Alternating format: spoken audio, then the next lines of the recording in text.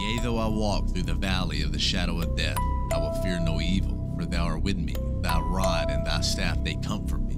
Thou preparest a table before me in the presence of my enemies. Thou anointest my head with oil, my cup runneth over.